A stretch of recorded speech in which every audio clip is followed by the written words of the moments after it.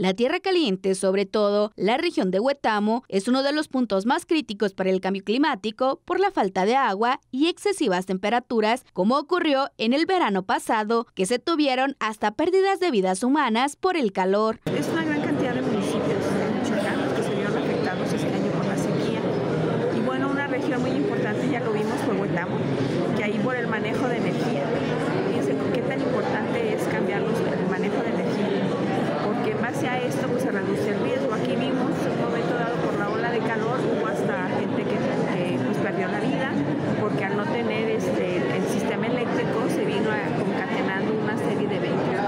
Entonces, estas, eh, yo, yo pondría un énfasis en Huetamo, en Apachingán. Son varios los municipios de la Tierra Caliente de Michoacán que sufrirán los estragos del cambio climático, pero Huetamo tiene una bandera roja por el manejo de energía eléctrica, lo cual se debe de modificar en estas regiones por la cantidad de recurso que se necesita para poder sobrevivir a las altas temperaturas con aire acondicionado y para mantener la comida en estado óptimo y se pueda consumir. Además, que el ganado tampoco podrá sobrevivir ante la falta de agua. Tenemos que, y toda la sociedad tiene que trabajar en esto, en muchas líneas de adaptación.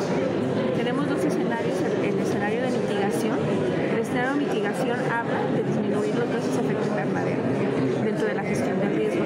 Y el de adaptación, pues tenemos aquí muchas aristas en la adaptación. Por ejemplo, pues tenemos adaptación en la, en la educación, debemos adaptar la educación a, un modelo de gestión integral de riesgos y cambio climático.